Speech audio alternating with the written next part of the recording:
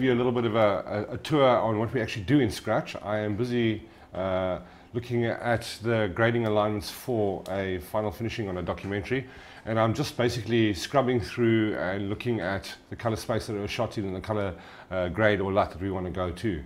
As you can see I've got a shot here of Cape Town at sunset. The shot was acquisitioned like that. So as you can see, it's very flat because we've got a lot of highlights coming from behind this mountain. It's flattening out our image. Uh, this is after sunset, it's about to go down, but as you can see, our exposure is quite, quite high. And the director on this movie specifically would like this to look more like sunset and less like an overexposed sunset area. So with Scratch, allows me, with Scratch gives me a lot of tools to be able to manipulate this image to what I want to see. What I want to do is I want to apply a grade. So the first thing I'm going to do is I'm going to reset my grade to be exactly the same as what I get from uh, the camera. Okay, so as you can see here, by using my stats, I have a good indication of this image as it stands at the moment. By looking at my primaries here, you can see my red, green and blue exposure ranges and just by adjusting my primary master gain, you can see where my exposure level lies. Okay, so if I got a file like that, that would be very underexposed. The way I have this file at the moment is very overexposed. As you can see by the red indicators in my stat line, once I start hitting the exposure range. Um, what I want to do is I want to pick a nice exposure, exposure range that's going to justify what these images should look like.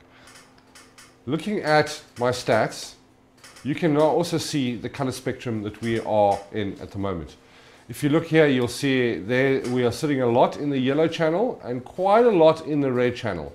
Okay, I'd expect at sunset that this would be more in this yellow and red channel, and that's what I'm going to try to achieve for the sunset shot.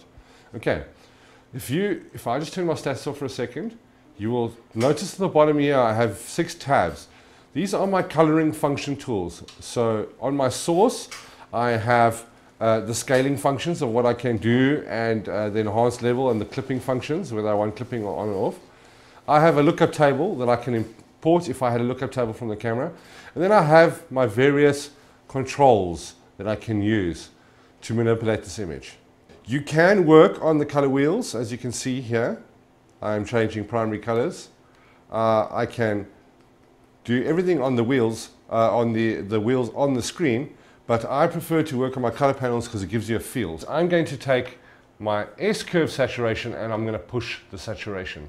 As you will see now, I have more in my yellow and my red color channel than I had before. But the problem is on my red and my, my uh, green channel here, you can see by pushing it, I have overexposed. So what I want to do by using my stats again is I want to correct that.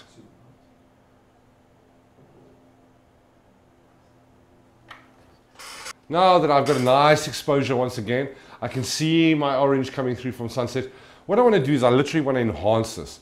Now, enhancing a specific scene like this, especially for uh, to sell it as sunset, as you can see, the lights of the car are on. I want to make this pop by pushing the contrast and bringing the whole ambience of this image down towards what you would expect when you see uh, a sunset image. Okay, our main character, Rashad, is on the right hand side here. I want to maintain his exposure here, but I want to have more contrast and more color in here. So the first thing I'm going to do is I'm going to lower the contrast by working on my color panel and pushing some contrast in. If you look at the number plate, you will see as I push the contrast that this area here will start disappearing. Okay, Going back to my stats again, I will see now that I'm a little bit exposed on the yellow channel. So I will then once again drop my gains down to an acceptable level. Okay, I'm now going to work on my primaries. In other words, the main colors that I have in here. So at the moment you can see on my color wheel A, I have, I can select my color range.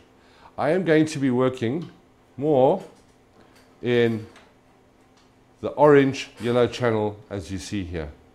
Okay. Once I've selected that, you see as I'm dialing in, I'm dialing out. that color, uh, sorry, the gamma on that color. And I'm going to dial it back in till I get to the kind of level I want to work at. And now I'm going to lift those primaries. So as you see me dialing in here, you should see a lot more yellow coming in to this image. Let's get a little bit more into the orange channel. And I'm going to dial it a little bit more in. So once I need, I'm happy with what I've done in my grade here. What I need to do is just to check what I had and what I have now. Okay, this is more of a sunset feel that we're going for. So when I'm happy with this, I can then move on to the rest of my program or my next shot that I want to work on.